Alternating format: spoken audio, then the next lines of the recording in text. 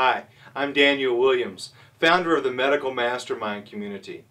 And I hesitate to even turn the camera on this time because I know there's a 95% chance you are not going to do what I'm about to tell you to do.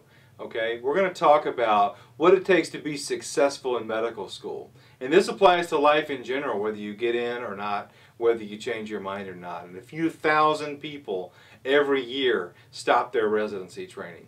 There are a lot of doctors and wannabe doctors out there that aren't licensed. I want to tell you how to be successful no matter what your background, no matter what your adversity, no matter what. And why are so few people able to overcome even the tough, toughest obstacles? Because they aren't willing to listen to other people's advice.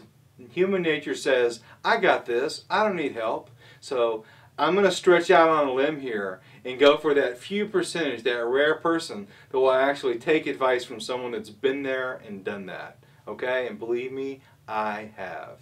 The first step in determining success for you is to identify what does success mean to you. Because success is really setting a goal and then being about actively working towards that goal. You're successful before you ever get there.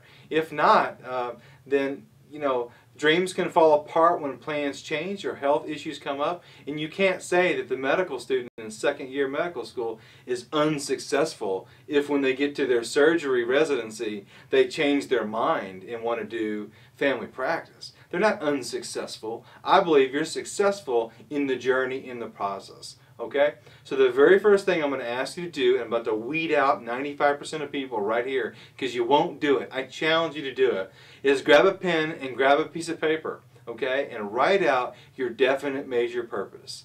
This is your vision for your life. What do you want it to look like? What is your major goal? What are the steps to get there? Where are you living? I mean, you know, these kind of things can change, but come up with a creative vision for what you want it to look like based on the information that you have right now. What size of a family, if, if you have a family at all in this vision. What, are your, what does your career, your clinical workload look like, etc., etc. Write this stuff down. That's the very first step. Now that you have a definite major purpose, we have a measuring stick on which to base our success, okay? The very next thing I'm going to put right after that is having a positive mental attitude.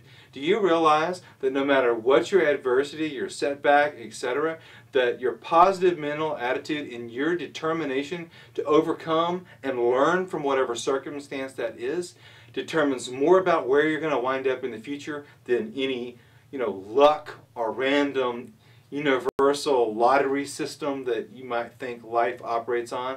You know those people that always seem to figure it out, to be ahead of the game? Study them and see what characteristics they have. You're going to find they have a definite major purpose. They are persistent. They have a positive mental attitude.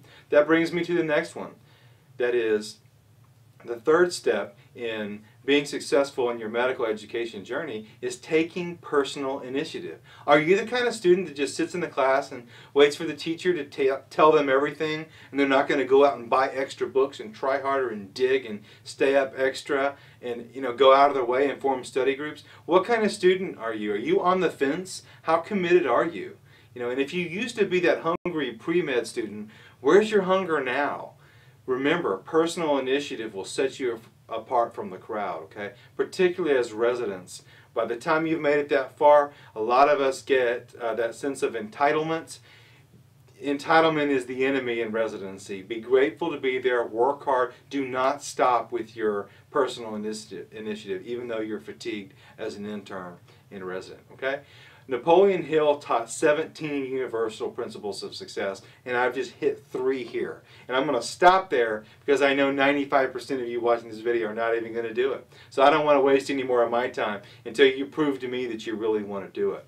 Okay? If you want a free lifetime access to the mastermind community where you get lots and lots of access to recordings and live webinars of success talks like this, where we can analyze you know, which success principle you're hung up on and ignorant of, for example, um, then go to medicalmastermindcommunity.com and sign up for my free speed reading course. I'll also send you some USMLE medical MP3s to study as samples from Apollo audiobooks along the way. Again, every month I'll be giving out a free uh, raffle for a lifetime membership to the mastermind community. And in the meantime, I would just ask you to get that pen and paper and begin this journey right now. What are you waiting for? If you don't have the personal initiative to stop this recording right now and get to work, I'm not really sure I can help you in the mastermind community and I'm not sure you're ready to do the work. Okay? So good luck in your career and I really hope to see you on the inside.